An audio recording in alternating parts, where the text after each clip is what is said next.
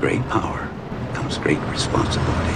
And with most expensive warship comes extra expensive problems. Back in 2020, USS Gerald R. Ford and George H.W. Bush were facing clogging problems, but the actual problem was extremely expensive acid solution to clean the pipes, with $400,000 for each use. The General Accountability Office report states that Navy used a brand new toilet and sewage system for its two new carriers, CVN-77 and 78.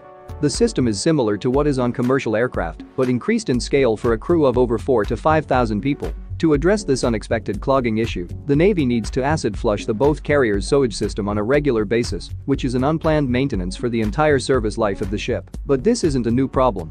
USS George H.W. Bush faced the same thing in 2009.